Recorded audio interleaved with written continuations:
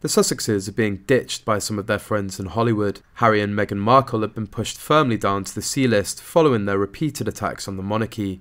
The royal pals have ditched the pair after they spilled Windsor family secrets in their six-part Netflix docuseries. Even Reese Witherspoon allegedly put a friendship with Catherine over her interview with Markle.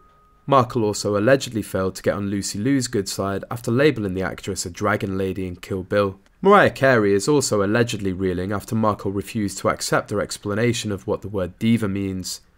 And even though David Beckham is his friend, the athlete jetted to Boston to show his support for Prince William and Catherine at the Earthshot Prize Awards. According to a source, the change of heart among these Hollywood celebrities has got Prince Harry rattled and he wants revenge.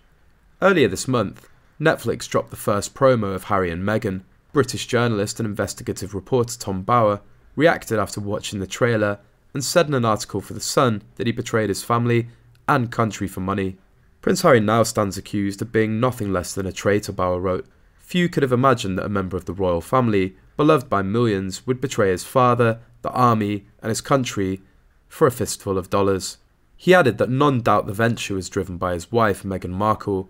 Bower called Prince Harry a compliant husband to the former Suits actress. Nurtured in Hollywood, she's imposed her narrative on Harry a compliant husband, Bower added.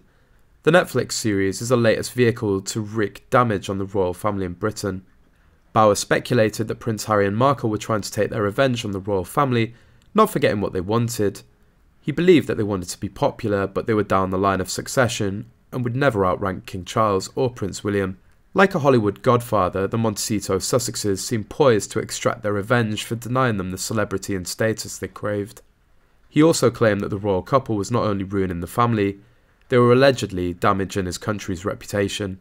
The Sussexes' venom will spread across the world, damaging not only the royal family but Britain's reputation, Bower added. He criticised the couple for leaving Britain for privacy only to allegedly sell their souls with breathless vulgarity to Netflix, Spotify, and magazines. In September, royal commentator Kara Kennedy claimed that Prince Harry and Markle were slowly being frozen out.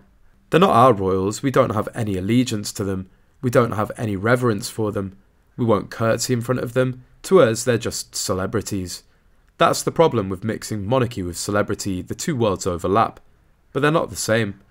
Meghan and Harry claim to have one foot in both. Increasingly, they aren't welcome in either, she said. And in October last year, Prince Harry and Markle also sparked rumours about the Obamas, after the latter didn't invite the Sussexes to Barack's birthday party.